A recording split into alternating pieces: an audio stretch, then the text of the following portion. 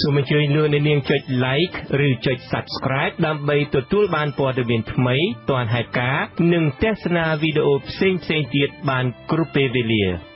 មកឆាវដបងនេះ មានតែគណៈបកប្រជាជនទាំងអស់នៅក្នុងរដ្ឋាភិបាលអត់មានលេខដល់បន្តទៅចាំខ្ញុំពិនិត្យទៅដល់គណៈបកមួយចំនួនដែលធនធានមនុស្សក្រាន់បាក់ខ្ញុំអាចអញ្ជើញគេឲ្យមកធ្វើជារដ្ឋលេខាធិការឬអនុរដ្ឋលេខាធិការឬទីប្រឹក្សាស្ថាប័នឬទីប្រឹក្សារាជរដ្ឋាភិបាលខ្ញុំនឹងពិនិត្យតាមក្រោយប៉ុន្តែបើធ្វើយ៉ាងដូចនេះគឺជាការចូលមកអនុវត្តទាំងស្រុងនៅគោលនយោបាយរបស់គណៈបកប្រជាជនតែប៉ុណ្ណោះសូមប្រាំទៅខ្ញុំមិនអាចយកគោលនយោបាយរបស់បកណាមកអនុវត្តជំនួសឲ្យគោលនយោបាយគណៈរបស់គណៈបកប្រជាជនដែលប្រជាជនបានបោះឆ្នោតគ្រប់គ្រងភ្លុកទឹកភ្លុកដីបានទេវេទិកាជួបជាមួយតំណាងគណៈបកនយោបាយចាញ់ឆ្នោតទាំង19ត្រូវបានលោកហ៊ុនសែនចាត់ទុកថាធ្វើឡើងដើម្បីផ្ដល់ឱកាសដល់គណៈបកនយោបាយទាំងនោះបានចូលរួមអភិវឌ្ឍប្រទេសជាតិជាការបង្កើតវប្បធម៌សន្តានារវាងគណៈបកនយោបាយនៅក្នុងរដ្ឋសភានិងគណៈបកនយោបាយនៅក្រៅរដ្ឋសភា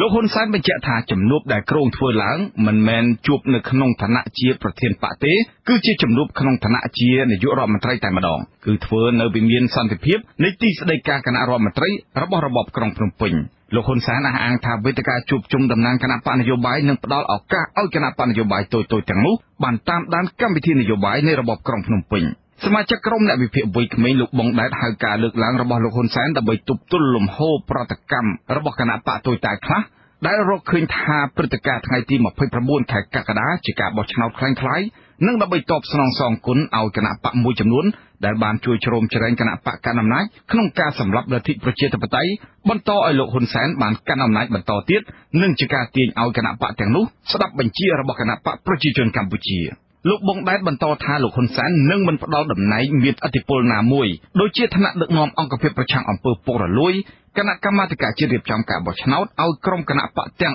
19នោះទេគឺតំណែងដែលផ្ដល់ឲ្យគ្រាន់តែជារូបភាពល្អមើលពីខាងក្រៅប៉ុណ្ណោះ អ្នកវិភាគប្រមានថាប្រសិនបើមេដឹកនាំគណៈបកនយោបាយណាមួយហ៊ានទទួលយកតំណែងដែលលោកហ៊ុនសែនផ្ដល់ឲ្យនោះពួកគេអាចនឹងមានវាសនាមិនខុសពីគណៈបកហ្វុនស៊ិនពេជ្រអ្នកនយោបាយអតីតគណៈបកសំរងស៊ីឬគណៈបកហ្វុនស៊ិនពេជ្រមួយចំនួនដែលទទួលយកតំណែងពីលោកហ៊ុនសែនហើយត្រូវផុងខ្លួនរើមិនរួចដោយបង្ខំចិត្តបំរើនយោបាយឲ្យលោកហ៊ុនសែនអស់មួយជីវិត បើសិនជាពួកគាត់ចូលទៅវានឹងបាត់បង់នៅប្រជាប្រិយភាពពីព្រោះថាប្រជាពលរដ្ឋនានាការរបស់គាត់គឺចង់មើលឃើញគណៈបកណាមួយដែលអាចជួយសោយស្រង់បំណងរបស់គាត់បានបើចូលទៅគ្រាន់ដើម្បីតែរូបភាពថាតំណែងរូបភាពអីគេដើម្បីផ្សេងផ្សេងអាហ្នឹងប្រជាពលរដ្ឋអាចទុកចិត្តបានទេពីព្រោះគាត់កាន់តែចូលទៅវាកាន់តែលេចខ្លួនទៅហើយហើយគណៈបកទៀតសោតក៏វានឹងបាត់បង់នៅប្រជាប្រិយភាពបាត់បង់តំណែងហើយពេលខ្លះវាអាចមានជប់ទោសជប់អីជាដើមអញ្ចឹងយើងមានរូបភាពផ្សេងផ្សេងជាដើមមានភាគីខាងគណៈបកសំរងស៊ីសមាជិកមួយចំនួនហ្នឹងដែលចោះចូលមួយរដ្ឋាភិបាលមួយចំនួនក៏វាទទួលផលមិនល្អប្រមាណដែរអញ្ចឹងណា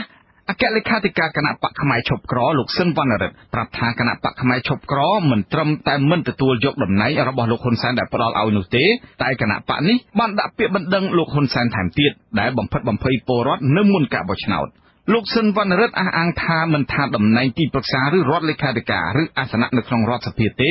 គណៈបកនេះមិនទទួលយកចដាច់ខាតព្រោះគណៈបកផ្នែកឈប់ក្រធ្វើនយោបាយដើម្បីលទ្ធិប្រជាធិបតេយ្យពិតប្រាកដមិនចង់បានតំណែងនោះទេអ្នកនយោបាយរូបនេះមើលឃើញស្រដៀងទៅនឹងអ្នកវិភាគដែរគឺតំណែងដែលលោកហ៊ុនសែនផ្ដល់ឲ្យគ្រាន់តែជាតំណែងផុងខ្លួនហើយបានត្រឹមតែលោកហ៊ុនសែនលើកបន្ទប់ឲ្យតំណែងអង្គុយអានកាសែតនិងមិនមានប្រយោជន៍អ្វីដល់ជាតិឲ្យបានពិតប្រាកដនោះទេ នេះជាយុទ្ធសាស្ត្រមួយដែលគេផ្ដល់តំណែងដើម្បីឲ្យយើងទៅគួយអានកសែតតែប៉ុណ្្នឹងទេយើងបដិសេធមកជារហូតនឹងហើយឱកាសឆ្នាំ2017ក៏ជបពីបែងចែកអាសនៈដែលបានមកពីការរំលាយគណៈបកសង្គ្រោះជាតិនឹងគេបានបែងចែកអាសនៈ5ឲ្យគណៈបកមកជក្រដែរប៉ុន្តែយើងយល់ឃើញថានេះមិនមែនជាកៅអីដែលចេញពីឆន្ទៈរបស់ប្រជាពលរដ្ឋនោះទេហើយក៏យើងមិនមែនធ្វើនយោបាយនេះដើម្បីតែកៅអីនោះដែរ បើទោះបីជាគណៈបកខ្លះមិនទទួលយកតំណែងដែលលោកហ៊ុនសែនចង់ផ្ដល់ឲ្យក៏ដោយប៉ុន្តែលោកហ៊ុនសែនអះអាងថាយ៉ាងហោចណាស់មានគណៈបកចំនួន2កំពុងរត់ការសុកលុយទិញតំណែងនៅអាណត្តិថ្មីនេះដោយអាណត្តិមុនមុនដែរគឺគណៈបកហ្វុនស៊ិនពេជ្រនិងគណៈបកខ្មែររួបរวมជាតិរបស់លោកញឹកប៊ុនឆៃអាស៊ីសេរីនៅមិនទាន់អាចសុំប្រតិកម្មពីតំណាងគណៈបកនយោបាយទាំងពីរនេះបាននៅឡើយទេខ្ញុំតាំងសារ៉ាដាអាស៊ីសេរីពីរដ្ឋធានី Washington បាទលោកនាងជាទីមេត្រីការផ្ដួចផ្ដើមដាក់ញត្តិទាមទារឲ្យស្ថាប័នជំនាញរបស់ប្រទេសអូស្ត្រាលីបើកការស៊ើបអង្កេតករណីកិច្ចពន្ធនៅប្រទេសអូស្ត្រាលីរបស់អគ្គនាយកដ្ឋានពន្ធដាររបស់អគ្គនាយកពន្ធដារកម្ពុជាគឺលោកគង់វិបុលកំពុងទទួលបានគ្រប់គ្រងអ្នកស្រីមូសុខួរអនុប្រធានគណៈបកសង្គ្រោះជាតិដែលគណៈបកកាន់អំណាចរំលាយនោះបានអំពាវនាវដល់ពលរដ្ឋខ្មែររស់នៅប្រទេសអូស្ត្រាលីនិងពលរដ្ឋខ្មែរក្នុងស្រុកនិងក្រៅស្រុកទាំងអស់ឲ្យចូលរួមចុះហត្ថលេខាលើញត្តិមួយដែលស្នើរដ្ឋាភិបាលអូស្ត្រាលីបើកការស៊ើបអង្កេតករណីអំពើពុករលួយរបស់មន្ត្រីពន្ធដារគឺលោកគង់វិបុលនៅលើទឹកដីប្រទេសអូស្ត្រាលីអ្នកស្រីមូសុខួរបានសរសេរលើ Facebook របស់អ្នកស្រីនៅថ្ងៃទី15សីហាថាអ្នកផ្ដួចផ្ដើមឲ្យមានការដាក់ញត្តិនេះគឺមានភ័ស្តុតាងនិងឯកសារគ្រប់គ្រាន់បញ្ជាក់ថាលោកគង់វិបុលពិតជាបានរកស៊ីខុសច្បាប់ឬលាងលុយកខ្វក់ពីប្រទេសកម្ពុជាមកប្រទេសអូស្ត្រាលីមែនអ្នកស្រីយល់ថាការចូលរួមចុះហត្ថលេខារបស់ពលរដ្ឋខ្មែរលើញត្តិនេះនឹងជំរុញរដ្ឋាភិបាលអូស្ត្រាលីឬក៏ស្ថាប័នជំនាញនៃប្រទេសនេះបើកការស្រាវជ្រាវលើសំណុំរឿងលោកគង់វិបុលយើងជាពលរដ្ឋខ្មែរក្នុងនិងក្រៅប្រទេសគឺសូមចូលរួមដើម្បីជួយឲ្យប្រទេសកម្ពុជាយើងคล้ายទៅជាប្រទេសមួយស្អាតស្អំហើយយើងជាពលរដ្ឋយើងមានកាតព្វកិច្ចយើងនៅមានភារកិច្ចចាត់វិធានការដែលយើងអាចជួយបានគឺតាមរយៈការបញ្ចេញមតិការចុះហត្ថលេខានៅញត្តិនេះក៏ជាការបញ្ចេញមតិ ក្នុងការទប់ស្កាត់និងអំពើពុករលួយហើយជាការបំពេញកាតព្វកិច្ចយើងជាពលរដ្ឋខ្មែរដែរ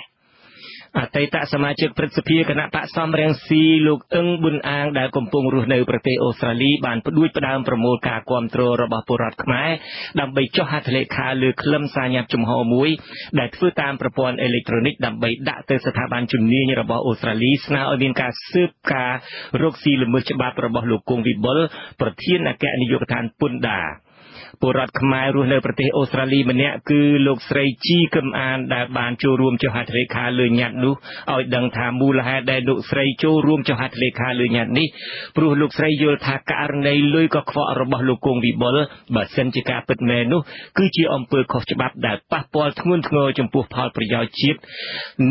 ទាំងប្រទេសកម្ពុជា ទាំងប្រទេសអូស្ត្រាលីលោកស្រីរំពឹងថារដ្ឋាភិបាលអូស្ត្រាលីនឹងរកឃើញពីករណីលាងលុយកខ្វក់របស់លោកគង់វិបុលនៅប្រទេសអូស្ត្រាលីចាខ្ញុំខ្ញុំជឿថាគេនឹងចាត់ចាត់ការសិទ្ធិយើងយើងយើងចាក់ពីប្រវត្តិហ្នឹងគេដាក់ចាត់ការតាមប្រព័ន្ធពីតាមសិទ្ធិចិត្តនិយាយឲ្យយើងទីតើយើងនៅនៅទៅហៅថាយើងប្រវត្តិហើយគេនឹងឆ្លើយទៅក្រសួងដែលថាពាក់ទងគ្រឿងលេខចាត់ហ្នឹងគឺគាត់ឧទាហរណ៍ទៅទៅតាមពីកម្ម បាទលោកហុងលីមតំណាងរាជអូស្ត្រាលីដើមកំណើតខ្មែរដែលបានចូលរួមចុះហត្ថលេខាលើញត្តិនោះដែរបានមានប្រសាសន៍ថាតាមច្បាប់ប្រទេសអូស្ត្រាលី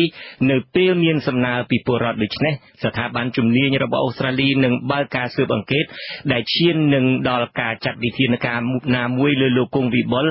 ឬអ្នកពាក់ព័ន្ធទាំងឡាយក៏ប៉ុន្តែលោកយល់ថានៅពេលស្ថាប័នជំនាញរបស់អូស្ត្រាលីបើកការស៊ើបអង្កេតក៏អាចនឹងមានការកោះហៅលោកគង់វិបុលមកបកស្រាយបំភ្លឺនៅប្រទេសអូស្ត្រាលីអង្គភាពពាក់ព័ន្ធហ្នឹងឬក៏ក្រសួងពាក់ព័ន្ធគេត្រូវធ្វើសកម្មភាពហើយប៉ុន្តែដល់ត្រង់នេះគេនឹងគេធ្វើគេធ្វើវាមកចាត់ចំត្រូវដូច្នេះវាអាចមានពេល CU ស៊ីពេល U ប៉ុន្តែតែកើតគេធ្វើគេចាប់ធ្វើភ្លាមភ្លាមមករឿងនៅត្រង់ថាគេនឹងទីមទីក៏ហៅលោកគុំបលឲ្យចាប់មកពីអូស្ត្រាលីវិញពួកគាត់ជាជនជាតិអូស្ត្រាលីហ្នឹង បាទការសម្រេចដាក់ញត្តិរបស់ពលរដ្ឋខ្មែរនៅអូស្ត្រាលីទៅស្ថាប័នជំនាញរបស់អូស្ត្រាលីឲ្យស្រាវជ្រាវករណីនេះគឺកើតឡើងបន្ទាប់ពីទូរទស្សន៍ Al Jazeera រាយការណ៍ថាលោកគង់វិបុល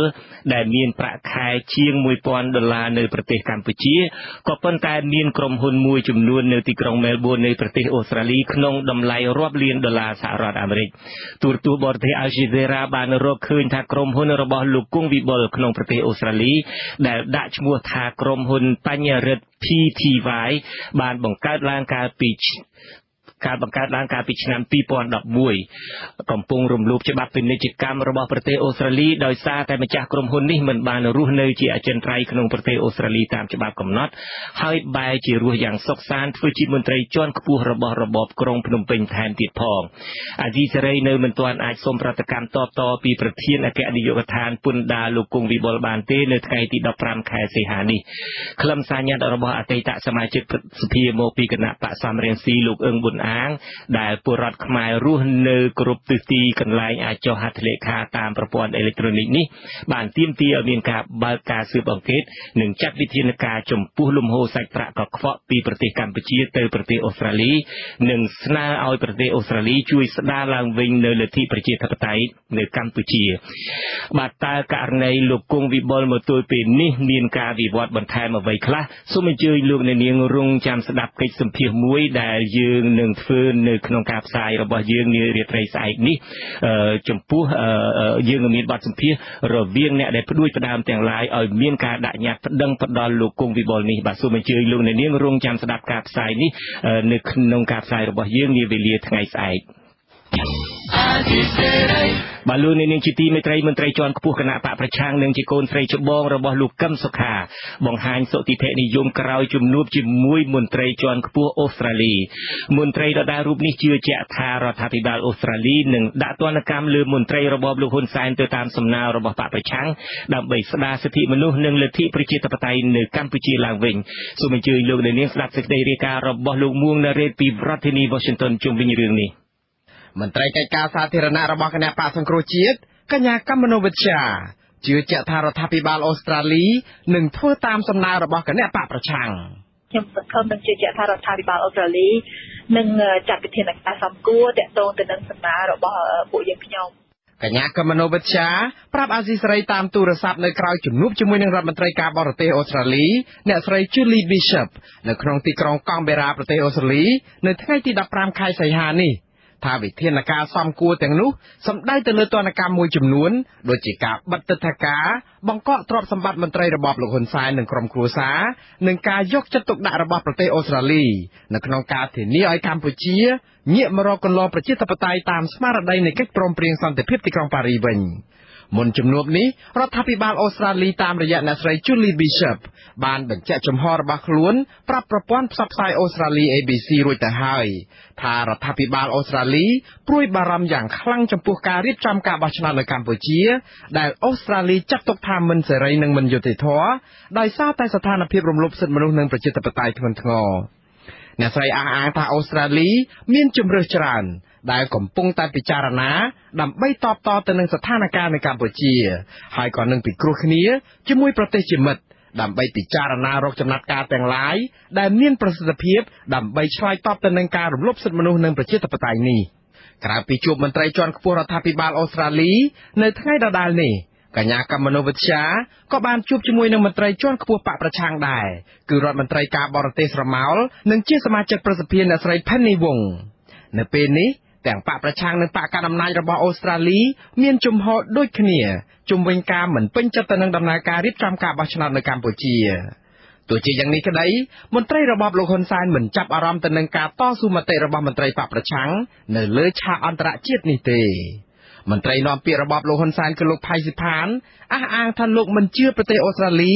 នឹងដាក់ទណ្ឌកម្មណាមួយមកលើរបបលោកហ៊ុនសែនដែលលោកអះអាងថាមានពលរដ្ឋខ្មែរគ្រប់គ្រងដ៏ច្រើនលើសលប់តាមរយៈការបោះឆ្នោតនាពេលថ្មីៗនេះកម្ពុជាដូចជាមិនមានការខ្វល់ខ្វាយក្នុងរឿងនោះទេហើយចំពោះការប្រឹងប្រែងរបស់ឯក្រុមដែលទាមទារឲ្យគេដាក់កំផិតអីដែរហើយរដ្ឋនេះមិនមែនរដ្ឋកើតចេញពី ការច្បាំងថាចំនួនអាវុធទេអត់មានហើយសេរីភាពរបស់គេធ្វើมันមានចេះពលអីទេ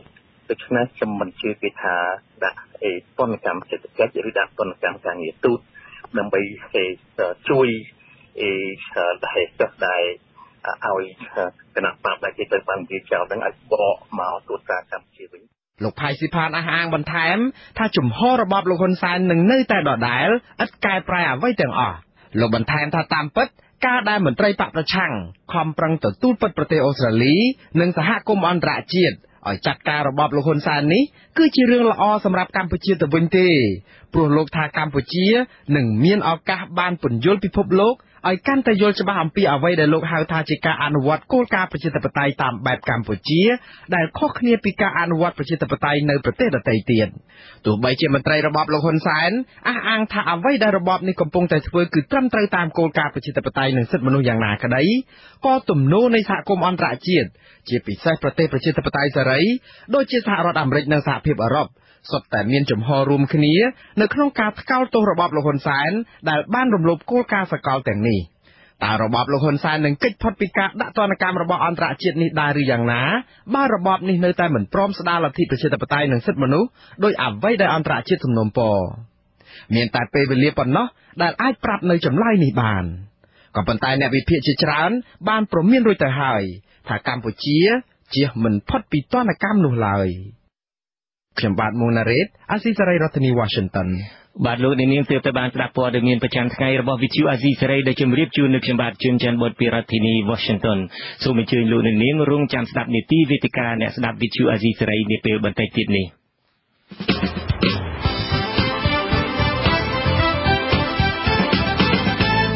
បាទនេះគឺជានីតិវេទិកាអ្នកស្ដាប់ VTV អាស៊ីសេរី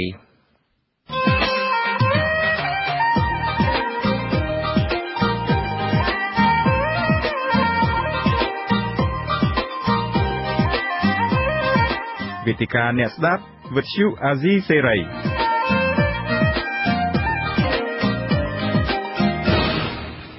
បាទលោកនាងជាទីមេត្រីរបបថ្មីមួយនឹងត្រូវបង្កើតឡើងក្នុងពេលឆាប់ឆាប់នេះគឺនៅប្រមាណជាប្រមាណថ្ងៃខាងមុខនេះទៀតទេបើតាមគម្រោងលោកហ៊ុនសែនធ្លាប់ប្រកាសថាលោកនឹងបង្កើតរដ្ឋាភិបាលថ្មីមួយនៅដើមខែកញ្ញាខាងមុខនេះហើយលោកក៏បានរៀបចំក្បាលម៉ាស៊ីន ទីស្តីការគណៈរដ្ឋមន្ត្រី និងមុនឈ្មោះមន្ត្រីនៅក្នុងរបបរបស់លោករួចហើយទៅតាមការគ្រោងទុកសភាថ្មីនឹងដំណើរការក្នុងអាណត្តិទី6នេះដោយឯកបៈដែលឆ្ពោះទៅការដឹកនាំប្រទេសតាមបែបកុម្មុយនីសទោះបីជាលោកហ៊ុនសែនសន្យាថានឹងផ្ដល់តំណែងជារដ្ឋលេខាធិការនិងអនុរដ្ឋលេខាធិការដល់គណៈបកផ្សេងផ្សេងដែលចង់ចូលរួមជាមួយលោកក៏ដោយយ៉ាងណាក៏ដោយចុះសហគមន៍អន្តរជាតិនិងគណៈបកប្រឆាំងផងបានថ្កោលទោសការបោះឆ្នោតនេះដោយហៅថាជាការបោះឆ្នោតคล้ายคล้าย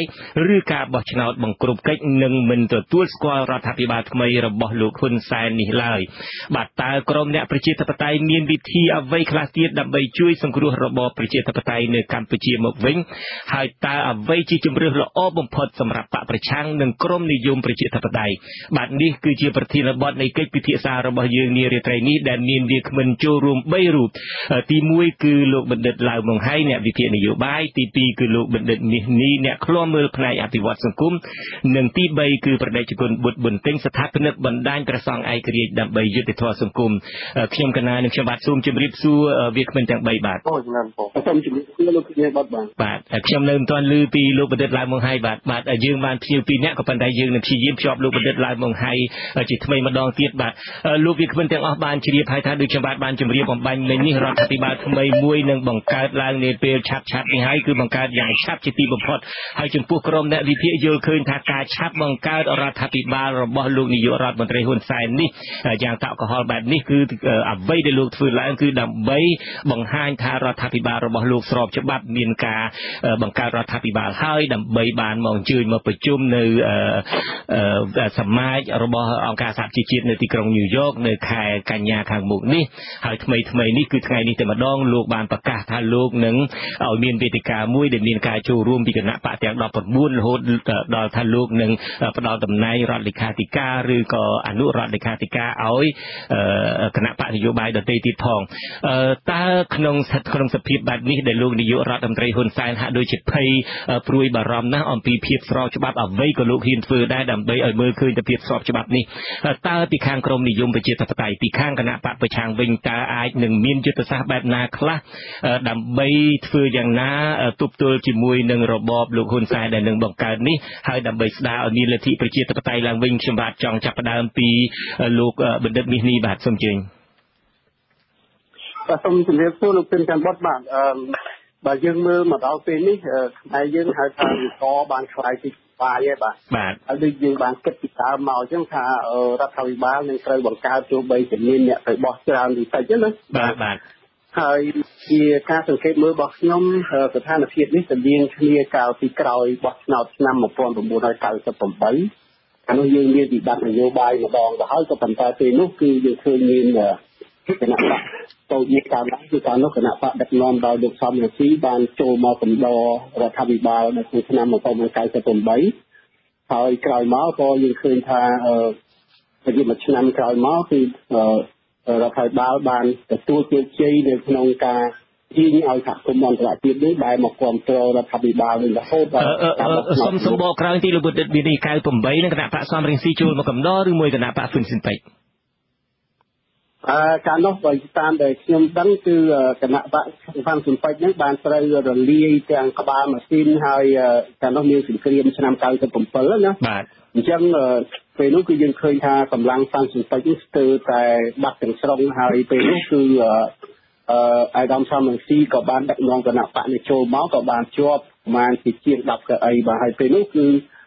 យើងឃើញថាបន្តិចម្ដងទៅម្ដងនេះរដ្ឋាភិបាលក៏បានជោគជ័យក្នុងការទាញយកប្រជាប្រិយភាពជាមួយសហគមន៍អន្តរជាតិឡើងវិញបានណាបាទប៉ុន្តែសម្រាប់ដងនេះខ្ញុំប៉ាន់ប្រមាលមើលថា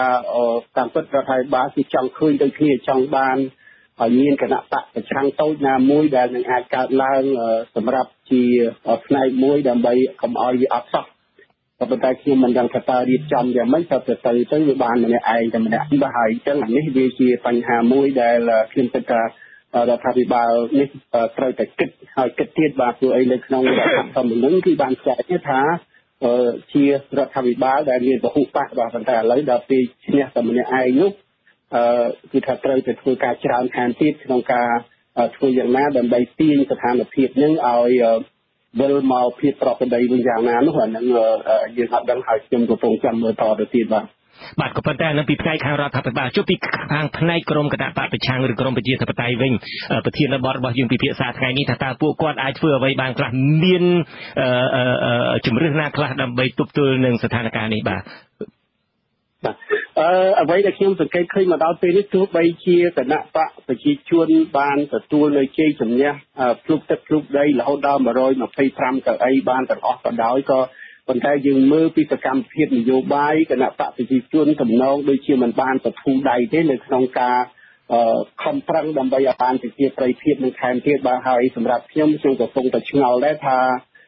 បោះឆ្នោតកន្លងមកហើយនេះយើងមានអ្នកដែលមកបោះឆ្នោតនោះរហូតដល់ជាង80% 83%ហើយគណៈបកប្រជាជនបានទទួល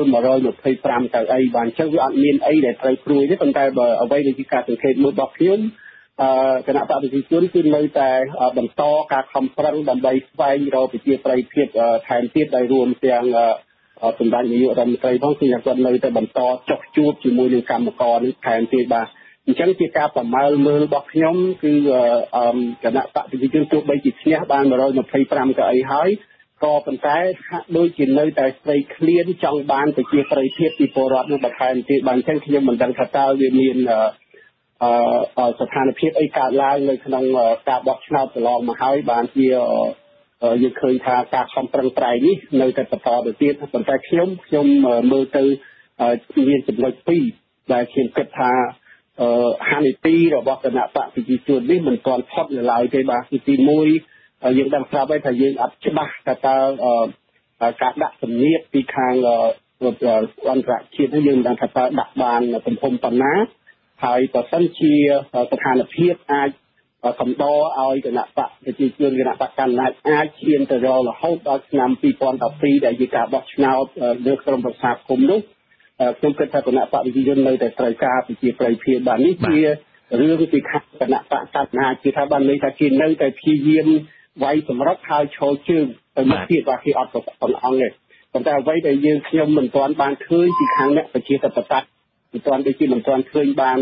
តើអ្នកប្រជាធិបតេយ្យយើងដឹងហើយថាអ្នកប្រជាធិបតេយ្យក្នុងរយៈពេលមួយឆ្នាំចុងក្រោយនេះគឺថយបើទីពីកងទ័ពទៀតថយក្រោយរហូត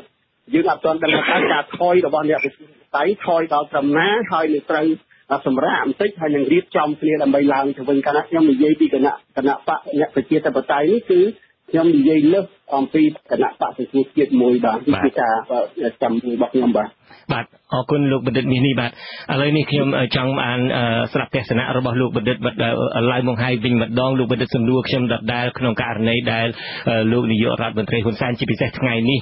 បើតាមលោកបណ្ឌិតមាសនេះនឹងហាក់ដូចជាបានដំណឹងថាគណៈបកប្រជាជនកម្ពុជានឹងបាន125អាសនៈសភាស៊ីដាច់ទាំងអស់តែម្នាក់ឯងទៅហើយហើយក៏បន្ទាប់មកទៀតនឹងលោកនាយករដ្ឋមន្ត្រីហ៊ុនសែនក៏នឹងបង្កើតរដ្ឋាភិបាលមួយយ៉ាងទាន់ហន់ជាទីបំផុតហើយភាកច្រើនគឺថាដើម្បីបង្ហាញថារដ្ឋាភិបាលលោកនឹងអាចមកតំណាងប្រជុំនៅអង្គការសហជីវជាតិដូចជាដើមនឹងអាចបង្ហាញភ្នែកគេឯងថាមានការទទួលស្គាល់ពីអង្គការសហជីវជាតិដូចជាដើមនៅពេលដែលលោកនាយករដ្ឋមន្ត្រីហ៊ុនសែនធ្វើការនេះយ៉ាងទាន់ហន់ជាទីបំផុតបែបនេះតើពីខាងគណៈបកប្រឆាំងពីខាងក្រមនិយមប្រជាធិបតេយ្យវិញ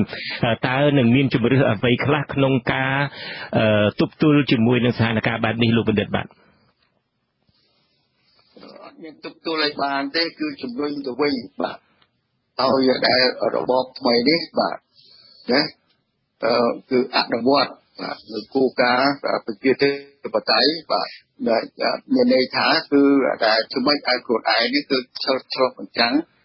នៅដែលគេហៅថាឆន្ទៈរបស់ប្រជាពលរដ្ឋបាទចា៎ ឥឡូវឆន្ទៈនេះគឺថាមិនច្បាស់ទេក្នុងដែលនៅនៅពេលបោះឆ្នោតនេះបាទដោយសារការរៀបចំការបោះឆ្នោតគឺសំដៅទៅយកអតីតឈ្នះឆ្នោតតែម្ដងចង់ស្ដាប់ឆ្លុះបញ្ចាំងឆន្ទៈរបស់ប្រជាពលរដ្ឋដែលស្ដាយឲ្យសេរីឬមិនសេរីគឺគឺយកឈ្នះតែម្ដងបាទចា៎ដូច្នេះមិនច្បាស់ទេថាតើដែលលទ្ធផលនៃការបោះឆ្នោតនេះជា បង្ហាញនៅឬសម្ដែងនៅឆន្ទៈរបស់ប្រជាពលរដ្ឋដល់ទេបាទចា៎បាទនៅជជែកគ្នាតទៅទៀតប៉ុន្តែទន្ទឹមទៀតយើងចង់ចង់គឺរដ្ឋាភិបាលនឹងកើតមានបាទដូច្នេះគឺខ្ញុំថាយើងក៏ថាកៅថា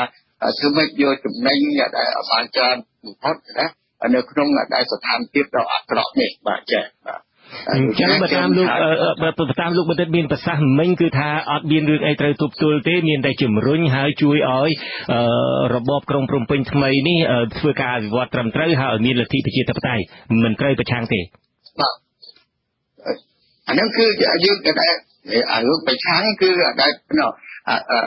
អាលទ្ធផលនៃការបោះឆ្នោតអានេះគឺយើងជំទាស់យើងតែតែទីទីទៅបាទក៏ប៉ុន្តែជាមួយថាចេះ អារឿងក៏បោះឆ្នោតដែរបាទ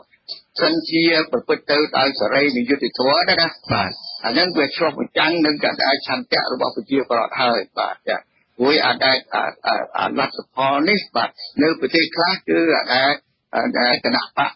មួយមានគណៈមានគណៈបកតែមួយឈ្នះឆ្នោតសឹងទាំងអស់មានមិនមែនទាំងអស់ទេតែនៅសល់មួយពីរក្នុងចំណោម100ផ្លាយ200ផ្លាយនេះបាទចាអានេះវាមានគឺអាច ក៏អានេះគឺការឆន្ទៈរបស់ប្រជាពលរដ្ឋបើសិនជាសម្ដែងទៅគេចូលចិត្តគណៈបកតែមួយវាអាចមានចឹងបាទចាហើយរឿងពហុបកមិនពហុមិនជាការអីទេព្រោះអាហ្នឹងគឺការបោះឆ្នោតមានការចូលរួមពីបកច្រើនទៅទៅណាអាហ្នឹងសន្មតថាដែលការបោះឆ្នោតនេះសេរីនិងយុត្តិធម៌ចាឥឡូវនេះវាអត់មានសេរីនិងយុត្តិធម៌បាទចាការរៀបចំការបោះឆ្នោតការជិបប្រកាសការលុបបាត់នៅដែល ការប្រព័ន្ធផ្សព្វផ្សាយឯករាជ្យអីហូរហែងចឹងទៅគាត់ថាលក្ខណៈអសេរីយើងនេះវាអត់មានដូច្នេះគឺបានដឹងហើយគឺមតិអាជនដូចជាគេថាសន្មតថាការបោះឆ្នោតនេះវាមិនត្រឹមត្រូវទេបាទដូច្នេះមិនសំដែងជាចន្ទៈរបស់ប្រជាពលរដ្ឋទេបាទដូច្នេះក្នុងកាលៈទេសៈអាក្រក់បែបអញ្ចឹងបាទតែយគិតយ៉ាងម៉េចបាទដូច្នេះមានតែជំរុញឲ្យដែលគណៈបកតែមួយនៅក្នុងសភាហ្នឹង ដូចជាចរន្តសង្គមរាជានៅប្រទេសកម្ពុជាយើងអញ្ចឹងបាទគឺឲ្យមានការសភានោះឲ្យមានដំណើរការធម្មតាហើយគឺសមាជិកហ្នឹងគឺតំណាងគេដែលមណ្ឌលរបស់ខ្លួនផងតំណាងគេដែល ប្រជាជាតិទាំងមូលផងបាទហើយគឺតែតើលោកវិទ្យាមានសង្ឃឹមថាអាចជំរុញចឹងទៅបានទេបើតាមបើតាមបើតាមលំអានរបស់គណៈបកប្រជាជនកម្ពុជាដែលធ្វើកន្លងមកនេះគឺថាដោយលោកបណ្ឌិតមានប្រសាសន៍ចឹងឲ្យសភានឹងគឺថាតំណាងរបស់បកផងតំណាងរបស់ប្រជាបាទអាចចារឿងអាចអាចវាអាចបាទព្រោះអាហ្នឹងគឺអាចនីតិវិធីនៅក្នុងសភា បទវិជាផ្ទៃក្នុងអីដូចគឺមានលក្ខឲ្យដែលសមាជិកសភាមួយរូបមួយរូបនឹងមានលក្ខភាពដេញដោលបាទសួរហើយនឹងតាមដានមើលសកម្មភាពរបស់រដ្ឋាភិបាលក្នុងការអនុវត្តច្បាប់ចា៎បាទអានេះអានេះគឺជំរុញឲ្យមានតែដែលការអនុវត្តនឹងប្រព្រឹត្តតាមទៅអ្វីអ្វីដែលមានចែកចាយក្នុងគោលការណ៍ជាសេដ្ឋកិច្ចដំណើរការប្រជាធិបតេយ្យរបស់ដែលសភានឹងទៅ ដូចដូចចរាការចឹងដែរយើងអាចជំរុញថែមទៅទៀតបាទចាឲ្យដែលអឺអឺតុលាការនេះគឺមានការកែប្រែច្បាប់ឲ្យឲ្យតុលាការឯករាជ្យទូចែងក្នុងរដ្ឋធម្មនុញ្ញហ្នឹងទៅបាទណាដរាបថារដ្ឋាភិបាលមិនបដិសេធឲ្យកែប្រែរដ្ឋធម្មនុញ្ញត្រង់ចំណុចទាំងប្រមាណនេះទេគឺថាយើងអាចជំរុញតទៅទៀតបានហើយគឺឲ្យរដ្ឋាភិបាលគឺបំរើអបយោរបស់ប្រជាពលរដ្ឋបាទចា អានេះគឺអាចដោះស្រាយបញ្ហាដែលប្រជាប្រជាប្រដ្ឋប្រឈមនឹងបាទចាបាទអានេះគឺអាចជំរុញទៅចឹងវិញបាទចាបាទអញ្ចឹងមកខ្ញុំសំណួររបស់ខ្ញុំបាទទៅលោកបណ្ឌិតឡាវមង្ហៃនេះថាតើមានសង្ឃឹមប៉ុណ្ណាដែរទេបើតាមលំអានរបស់គណៈបកប្រជាជនកម្ពុជាតាំងពីការអ្នកការទូត អាយអគ្គរដ្ឋទូតនៅតាមប្រទេសនានាមកលោកបណ្ឌិតឮហើយថាការពិតនឹងគឺថាមិនមែនតំណាងប្រជាជនកម្ពុជាគឺតំណាងគណៈបកប្រជាជនកម្ពុជាទៅវិញបាទតាមការអះអាងរបស់រដ្ឋាភិបាលថាមានការគ្រប់គ្រងលឺលុបហើយនៅដែលគណៈបកដែលប្រឆាំងនោះរលាយអត់ហើយលែងមានការគ្រប់គ្រងទៀតហើយបាទយើងយកសម្ដីគេចឹងវិញបាទអានេះអបពុតចាំមែនណាបាទ រឿងអីទៅខ្លាចអីនឹងអ្នកឯងចាប់យុទ្ធការផ្សេងផ្សេងដូចជារឿងដោះស្រាយអំពើពុករលួយណាលែងមានគណៈបពប្រឆាំងហើយម្ល៉េះហើយគឺកុំគិតពីរឿងអារម្មណ៍បាទមកទល់សប្តាហ៍ទៅក្តីសម្បែងអីហ្នឹងគឺថាប្រេតួទៅលើអារម្មណ៍មិនប្រេតួទៅលើច្បាប់យកច្បាប់មួយជាមូលដ្ឋានបាទតែ ឥឡូវនៅពោះថាអាចដែរអ្នកហ្នឹងគឺដែលបដិញចោលឬក៏ដាក់ទណ្ឌកម្មរត់ចូលដែលហើយទៅទៅគ្រប់គ្រងដែលគណៈបព្វឆាំងបាទឥឡូវអស់មានហើយបាទដូចជាអកតនកម្មអាចបានកែសម្រួលអីបានស្រាក់ចឹងទាំងអស់អំណាចជាធัวប្រើប្រាស់អំណាចជាធัวដើម្បីយកទៅលើកស្ទួយយកទៅត្រួតត្រងបាទចាអរគុណលោកបណ្ឌិតការការចិត្តខ្ញុំបាទបាទពីខាងក្រៅបានចាប់អស់ហើយអស់ហើយគឺខាងអ្នកវិជាទឹកតែជំរុញទៅបាទ បាទអរគុណអ្នកពីខាងក្រៅខ្សឹបខ្ញុំថាតាមពិតនឹងតាមសេចក្តីប្រកាសរបស់គោជបថាគណៈបកប្រជាជនកម្ពុជាបានឈ្នះស៊ីដាច់125កៅអីហើយបាទឥឡូវនេះខ្ញុំបាទចង់ឮដេការបស់បដិជគុណបុត្របុនទិញវិញម្ដងបដិជគុណឮការឆ្លើយតបរបស់លោកបណ្ឌិតមាសនេះឬការឆ្លើយតបរបស់លោកបណ្ឌិតឡាវមង្ហៃវិញខ្ញុំចង់ឲ្យបដិជគុណបុត្របុនទិញមានដេកាតបតទៅវិញថាតើមតិមួយណាសមរម្យទេបើតាមលោកបណ្ឌិតឡាវមង្ហៃថាមិនជាបាច់ទប់ទល់ទេជំរុញឲ្យគណៈបកកាន់អំណាចដែលឈ្នះទាំង125កៅអីនឹងឲ្យធ្វើការឲ្យបានត្រឹមត្រូវទៅតំណាងប្រជាគណៈបកខ្លួនឯងផងតំណាងដល់ប្រជាពលរដ្ឋផងតើប្រជាជនមានទីការបែបណាសូមអរតនីប្រគុណចាស់អូចម្រើនពោថ្មគ្រប់ត្រូលនឹងប្រសាសន៍លោកនិតកែមលីរឿងរបបហ៊ុនសែនហ៊ូពេលនិយាយពីរឿងខុសហើយត្រូវហើយពីព្រោះលោកហ៊ុនសែនបានដើរហ៊ូពីខុសហើយមិនត្រឹមខុសវាហ៊ូពីខុសដូច្នេះបើយើងនៅ នៅនំគ្នានិយាយថាអូហ៊ុនសែនកត់ច្បាប់ហ៊ុនសែនលួចសម្លេចឈ្មោះគិតលួចយូរហើយយើងហេតុអីបានចូលលួចយូរណាស់ហើយ35ឆ្នាំហើយយើងនៅមិនទាន់ចូលចូលនៅតែនិយាយថាចូលចូលដដែលវាវាមិនមែនជាអ្នកចាប់ចូលដែលត្រឹមត្រូវទេបានពោលដូច្នេះមកដល់ម៉ោងនេះចំពោះទេសនៈកណិតរបស់អាត្មារុញឲ្យហ៊ុនសែនគាត់ធ្វើចោះបើសិនជាយើងនៅទុកកាត់យើងនៅបបោះអែលហ៊ុនសែននៅបានទូនាទីល្អជាវិលាជនហើយបើហ៊ុនសែន មានអបតិកិឬក៏ឯកតកម្មអាចរក្សាអំណាចរហូតដល់ថ្ងៃចុងក្រោយមុនស្លាប់ឬក៏ទូនេតិនៅលើកណ្ដាលបញ្ឈុំមានន័យថាហ៊ុនសែនអាចនៅជាវីរៈជនរបស់ហ៊ុនខ្មែរក៏ប៉ុន្តែបើយើងរុញឲ្យហ៊ុនសែនធ្វើការម្នាក់ឯងក្នុងគណៈជីវិតចុងក្រោយរបស់គាត់រួមនឹងអ្វីដែលគាត់បានធ្វើមិនល្អសម្រាប់ជាតិសាសន៍ហើយគាត់បន្តកាន់ទូនេតិនេះទៅបិទលើកណ្ដាលបញ្ឈុំមានន័យថាហ៊ុនសែនបានបដូរទូនេតិនៅក្បែរ នឹងស្លាប់គឺមិនមែនវិរិយជនទេជាអក្រិតជនបើយើងនៅបងអែលនៅជួយថ្នាក់ថ្នមនៅជួយឲ្យកើតកែច្នៃវិលមកក្រោយវិញយើងជួយផ្ដល់ទូនីតិឲ្យហ៊ុនសែនជាវិរិយជននៅជីវិតចុងក្រោយណាដូច្នេះហើយបានអាត្មាមើលមើលឃើញថានេះប្រជាធិបតេយ្យក្តីនេះធ្វើកិច្ចការដើម្បីសង្គមជាតិក្តីយើងគូពិចារណាឲ្យហួសពីរឿងហ៊ុនសែនធ្វើខុសព្រោះ ញាតិញោមបានជ្រាបស្រាប់ហើយរៀងរាល់ការបោះឆ្នោតមួយអាណត្តិទៅមួយអាណត្តិគឺយើងបានឃើញការរៀបចំបោះឆ្នោតនឹងមិនមានលក្ខណៈសម្បត្តិគូដែលអាចទទួលយកបានហើយយើងបានប្រឹងនិយាយនេះតាំងពីដើមមកដល់ម៉ោងនេះវាអត់មានស្ថានភាពណាប្រសើរដែលយើងត្រូវបន្តនិយាយរឿងអស់នឹងតទៅទៀតទេ មានតែយើងនាំគ្នារៀបចំការងារថ្មីផែនការសកម្មភាពថ្មីដែលអាចជឿទុកចិត្តបានហើយអាចរក្សាកម្លាំងគឺកម្លាំងអ្នកវិជាទីតៃនិងអ្នកដែល យល់ពីបញ្ហាសុខទុក្ខប្រទេសជាតិហ្នឹងឲ្យធ្វើការជាមួយគ្នានោះជាជំរឿសល្អចម្រើនពោហើយជំរឿថាហ៊ុនសែនធ្វើខុសហ៊ុនសែនចែកកៅអីហ៊ុនសែនឈ្នះដាច់120អានឹងត្រេញហ៊ុនសែនថាតើស្រុកខ្មែរវាអត់មានចំណេញនៃការអនុវត្តច្បាប់អីទៀតទេហើយសូមកុំនិយាយពីរឿងខុសច្បាប់នឹងត្រូវច្បាប់តទៀតវាវាអត់បានអនុវត្តអីសំបីបន្តិចណាជំរឿនពោហើយយើងសង្កេតមើលឃើញទៀតពីមួយអាណត្តិទៅមួយអាណត្តិហ៊ុនសែនបានធ្វើរឿងផ្លេកចំពោះជាតិហើយផ្លេកនឹងបាត់ផល ប្រយោជន៍ជាតិហើយធ្វើឲ្យប៉ះពាល់ដល់អារម្មណ៍របស់ជនរួមជាតិទៀតផងឧទាហរណ៍អាណត្តិទី6គាត់មិនទាន់នឹងបង្កើតរដ្ឋាភិបាលអាខុសច្បាប់នៃការរៀបចំបោះឆ្នោតទៅហើយអាណត្តិទី6ភ្លាមគាត់បណ្ដោយឲ្យគេកាប់ដើមក្នុងនៅមុខសាលាខេត្តអានឹងចេតនាអាក្រក់របស់ហ៊ុនសែនទី1បំផ្លាញធនធានធម្មជាតិចេតនាអាក្រក់ទី2បំរើដានកុំអោយពលរដ្ឋគិតរឿងការបង្កើតរដ្ឋាភិបាលថ្មីហើយនឹងការប្រកាសលទ្ធផល ទី2គាត់អោយចនឹងលួចកាប់ដើមគញូងនៅក្នុងបរិវេណអង្គរវត្តដែលមានអាជ្ញាធរអប្សរាអេស្កាសក្បាលដូចចៃនឹងដូច្នេះរឿងមើលទៅវាវាវាអត់មានស្អីដែលហ៊ុនសែនធ្វើដើម្បីប្រកអីតទៅទេទុកគិតពីរឿងហ៊ុនសែនទៅធីបកវិតចោលរឿងដែលយើងគូគិតរឿងគូពិចារណាគឺផែនការថ្មីសម្រាប់ធ្វើការរួមគ្នាដែលអាចជួយរួញហ៊ុនសែនឲ្យធ្វើទៅជាអក្រិតជនណាផែនការអីទៅប្រគុណចា ដែលអាចជួយបានបើសិនជាយើងមើលលំអានប្រទេសដទៃដែលគេមានច្បាប់ប្រាប់អាត្មាឃើញថាអ្នកប្រជាធិបតេយ្យនៅធ្វើការរប៉េះរប៉ោះនៅធ្វើការតាមចិត្តកម្លាំងចិត្តរបស់បុគ្គលម្នាក់ម្នាក់វាមិនមែនធ្វើការទៅតាមផែនការយុទ្ធសាស្ត្រជាក់លាក់ហើយបើសិនជាយើងនៅធ្វើការរប៉េះរប៉ោះមិនមានផែនការយុទ្ធសាស្ត្រជាក់លាក់យ៉ាងដូចនេះ